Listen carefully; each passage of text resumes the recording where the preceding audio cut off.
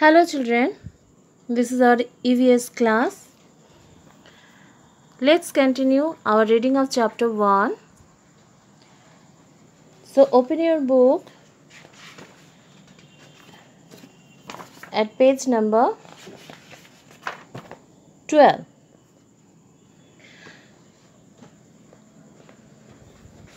Children, today we are going to understand about different work we do with our hands, legs and other parts, other body parts.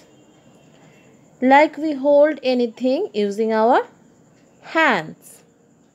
Okay. We use different parts of our body to different activities. Mm. Can you see the picture given here? Can you think of some activities done using legs and hands? Write L in the box for activities you do with your legs and H for activities you do with your hands. So children look at the pictures. Now you have to write L for the activities you do with your legs and H for the activities you do with your hands. So first one is pulling you can see pulling. For pulling we use hands. So write here h in the given box.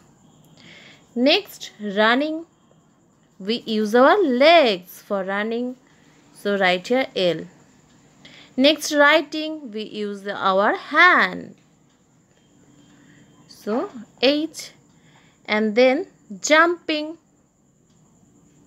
We use our legs when we jump. So write here L. In this way, write H or L for the given pictures below. Next, sense organs. Sense organs. We use some body parts to sense or feel things around us.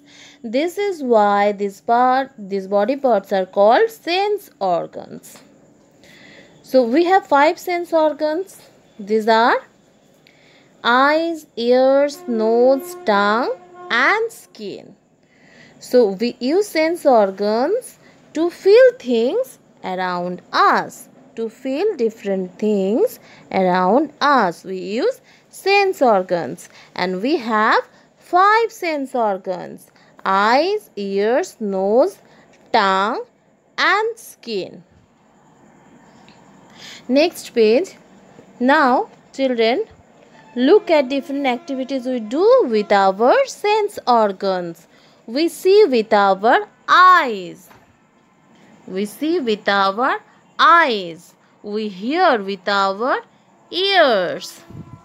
We smell with our nose. We taste with our tongue. And we feel anything with our skin. Okay?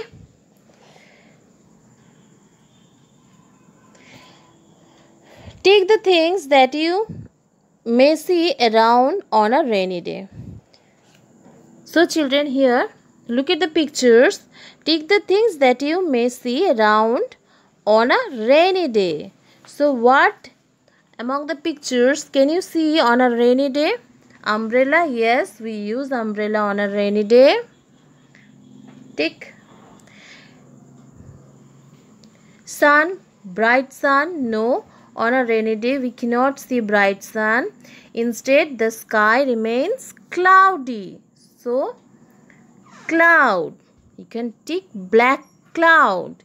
And raindrops yes we can see raindrops on a rainy day. And rainbow. Also we can see a rainbow on a rainy day. Take the things that smell nice. So children, to, uh, to look all these things we need one sense organ that is called our eyes. Okay, we use our eyes to see things around us. Take the things that smell nice to you. So what are the things that smell nice to you? Flower, yes. dustbin smell of dustbin no. Then washed clothes. You can take this one also. And smell of different kinds of food yes. It also smell good. And dirty clothes no. This one is not good to smell. Okay. Next number c. In the following so children to smell different uh, different thing to uh, to smell we smell with our nose. Okay. We smell with our nose. In which uh, in the following pictures take the things that are hot. So hot. Yes this one is hot this one is hot and this one is also hot. And the remaining three are not hot. So children to feel whether a thing is hot or not we use our skin. Okay? We use our skin. Next page 14 in the following pictures take the things that make a loud noise which which one which among the following make loud noise? Yes this can make loud noise. Bird chirping of bird no. Flute no. This one can make loud noise. Okay so these are the things children that can make loud noise. And to see uh, any kind of sound to listen music we use our ears. We use our ears. Number e. In the following pictures take the food items that are sweet in taste. So mango is sweet. This one is also sweet. This one is also sweet. This is not sweet. Okay. So to taste anything we use our tongue we use our tongue okay we use our tongue next Tick the things you like to do. Children, here you have to tick the things that you like to play, you like to eat, you like to watch and you like to read.